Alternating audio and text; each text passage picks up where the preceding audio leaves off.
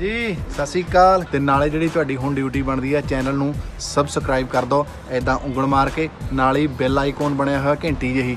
ਉਹਦੇ ਤੇ ਵੀ ਮਾਰ ਦਿਓ ਕਿਉਂਕਿ ਜਦੋਂ ਕੋਈ ਨਵੀਂ ਚੀਜ਼ ਅਸੀਂ ਹੋਰ ਪਾਈ, ਤਾਂ ਤੁਹਾਨੂੰ ਨਾਲ ਦੀ ਨਾਲ ਨੋਟੀਫਿਕੇਸ਼ਨ ਆ ਜੂ ਨਸ਼ੇ ਦੇ ਖਿਲਾਫ ਛਿੜੀ ਮੁਹਿੰਮ ਦੇ ਤਹਿਤ ਪਟਿਆਲਾ ਪੁਲਿਸ ਨੇ ਵੱਡੀ ਕਾਮਯਾਬੀ ਹਾਸਲ ਕਰਦੇ ਹੋਏ ਇੱਕ ਭਗੌੜਾ ਨਸ਼ਾ ਤਸਕਰ ਨੂੰ 10 ਲੱਖ ਦੀ ਨਗਦੀ ਸੋਨੇ ਅਤੇ ਨਸ਼ਿਆਂ ਸਮੇਤ ਕਾਬੂ ਕੀਤਾ ਹੈ ਜਾਣਕਾਰੀ ਮੁਤਾਬਿਕ ਐਸਐਸਪੀ ਪਟਿਆਲਾ ਮਨਦੀਪ ਸਿੰਘ ਸਿੱਧੂ ਦੇ ਮੁਤਾਬਿਕ ਫੜੇ ਗਏ ਵਿਅਕਤੀ ਦਾ ਨਾਮ ਨਵਜੋਤ ਸਿੰਘ ਹੈ, ਜੋ 2012 ਦੀ ਨਸ਼ਿਆਂ ਦਾ ਧੰਦਾ ਕਰ ਰਿਹਾ ਸੀ ਅਤੇ ਇਸ ਤੇ ਕੁੱਲ 5 ਮੁਕੱਦਮੇ ਦਰਜ ਹਨ। ਧੂਰੀ ਵਿਖੇ ਦਰਜ ਹੋਏ ਮੁਕੱਦਮਿਆਂ ਦੌਰਾਨ ਇਹ ਜੇਲ੍ਹ ਤੋਂ ਛੁੱਟੀ ਆਇਆ ਸੀ, ਪਰ ਵਾਪਸ ਨਹੀਂ ਗਿਆ। ਐਸਐਸਪੀ ਮੁਤਾਬਿਕ ਇਸ ਦੇ ਕੁੱਲ 13 ਬੈਂਕ ਖਾਤੇ ਸਨ। ਲੈਵਲ ਤੋਂ ਬੜੇ ਵੱਡੇ ਪੱਧਰ ਤੇ ਕੰਪੇਨ ਚਲਾਈ ਗਈ। ਸਾਨੂੰ ਉਹ ਕਾਮਯਾਬੀ ਮਿਲੀ ਜਦੋਂ ਨਵਜੋਤ ਸਿੰਘ ਨੰਨੂ, ਜੋ ਕਿ ਧੂਰੀ ਸੰਗਰੂਰ ਜ਼ਿਲ੍ਹੇ ਦੇ ਨਾਲ ਰਹਿਣ ਵਾਲਾ ਹੈ, ਉਹਨੂੰ ਅਸੀਂ ਪਕੜਿਆ। ਉਹਨੂੰ 100 ਗ੍ਰਾਮ ਹੈਰੋਇਨ ਤੇ ਪਲੱਸ 1000 ਤੋਂ ਵੱਧ ਨਸ਼ੀਲੀਆਂ ਗੋਲੀਆਂ ਫੜੀਆਂ ਤੇ ਜਦੋਂ ਉਹਦੀ ਉਹ ਸਰਚ ਕੀਤੀ ਤਾਂ ਉਹਦੇ ਵਿੱਚ ਲਗਭਗ 19 ਤੋਲੇ ਜਿਹੜਾ ਕੈਸ਼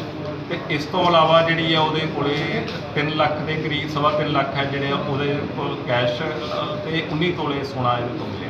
ਬੇਸਿਕਲੀ ਇਹ ਡਰੱਗ ਤਸਕਰੀ ਦਾ ਕਰਦਾ ਇਹ ਡਿਲੀਵਰੀ ਦੇ ਕੇ ਇਹਨੇ ਆਪਦਾ ਬੇਸ ਸ਼ਿਫਟ ਕਰਨਾ ਸੀ ਵਾਂਟਡ ਸੀਗਾ। ਅਸੀਂ ਸਾਡੇ ਕੋਲ ਵੀ ਇਨਫੋਰਮੇਸ਼ਨ ਆ ਰਹੀ ਹੈ, ਅਸੀਂ ਵੀ ਪਏ ਸੀ ਤੇ ਸੰਗਰੂਰ ਪੁਲਿਸ ਵੀ ਇਹਦੇ ਮਗਰ ਪਈ ਹੋਈ ਸੀ। ਤੇ ਇਹਨੂੰ ਫੜਨ ਚ ਕਾਮਯਾਬ ਹੋਏ, ਫੜਨ ਤੋਂ ਬਾਅਦ ਜਿਹੜੀ ਸਭ ਤੋਂ ਇੰਪੋਰਟੈਂਟ ਗੱਲ ਹੋਈ ਹੈ, ਜਿਹੜੀ ਪੰਜਾਬ ਦੀ ਅਸੀਂ ਕਹਿ ਸਕਦੇ ਹਾਂ ਸਭ ਤੋਂ ਤੇਜ਼ ਤੇ ਸਭ ਤੋਂ ਜਲਦੀ ਜਿਹੜੀ ਫਾਈਨੈਂਸ਼ੀਅਲ ਇਨਵੈਸਟੀਗੇਸ਼ਨ ਹੋਈ ਹੈ, ਅਸੀਂ ਇਹਦੇ ਜਿਹੜੇ ਕਿ ਲਗਭਗ 9 ਤਾਂ ਸਾਨੂੰ ਇਮੀਡੀਏਟ ਜਿਹੜੇ ਮਿਲ ਗਏ ਅਕਾਊਂਟ ਪਰ ਇਹਦੇ 13 ਅਕਾਊਂਟਸ ਹੈ। 13 ਬੈਂਕ ਖਾਤੇ ਜਿਹੜੇ ਵੱਖ-ਵੱਖ ਥਾਂ ਤੇ ਖਿਲਾਏ ਗਏ ਸੀ। ਉਹਦੇ ਵਿੱਚੋਂ ਅਸੀਂ ਲਗਭਗ 1 ਕਰੋੜ 30 ਲੱਖ ਦਾ ਪਲਾਟ ਤੇ 90 ਲੱਖ ਅ, ਸ- ਅ, 66 ਲੱਖ ਦਾ ਜਿਹੜਾ ਕੈਸ਼ ਇੱਕ ਥਾਂ ਤੇ ਬਾਕੀ 5 ਲੱਖ ਦਾ ਇੱਕ ਥਾਂ ਤੇ ਕੈਸ਼ ਤੇ ਇਸ ਤੋਂ ਇਲਾਵਾ ਜਿਹੜਾ 10 ਲੱਖ ਦਾ ਇਹਦੇ ਤੋਂ ਮੇਨ ਰਿਕਵਰੀ ਹੋਈ ਹੈ।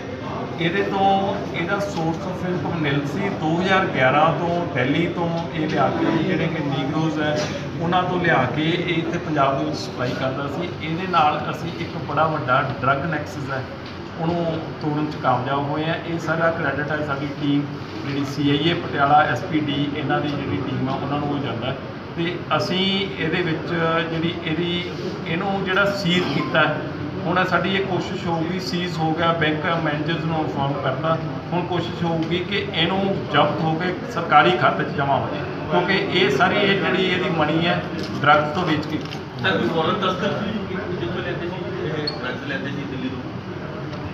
ਅ, ਇਹਦੇ 'ਚ ਇਹ ਕਹਿ ਸਕਦੇ ਆ ਅਸੀਂ ਆਪਦੇ ਹੈੱਡਕੁਆਟਰ ਦੇ ਰਾਹੀਂ ਕਰਾਂਗੇ ਵੀ ਦਿੱਲੀ ਦੇ ਵਿੱਚ ਜਿਹੜੇ ਇਹਦੇ ਦੱਸਣ ਮੁਤਾਬਕ ਬਹੁਤ ਸਾਰੇ ਬਲੈਕ ਜਿਹਨੂੰ ਕਹਿੰਦੇ ਆ ਨੀਗਰੋ ਜਿਹੜੇ ਆ ਉਹ ਇਸ ਧੰਦੇ 'ਚ ਲਪਤਾ ਇਹ ਉੱਥੋਂ ਦਿੱਲੀ ਤੋਂ ਲਿਆ ਕੇ ਇੱਥੇ ਪੰਜਾਬ ਦੇ ਵਿੱਚ ਸੰਗਰੂਰ ਤੇ ਪਟਿਆਲਾ ਜ਼ਿਲ੍ਹੇ 'ਚ ਸਪਲਾਈ ਕਰਦਾ ਸੀ।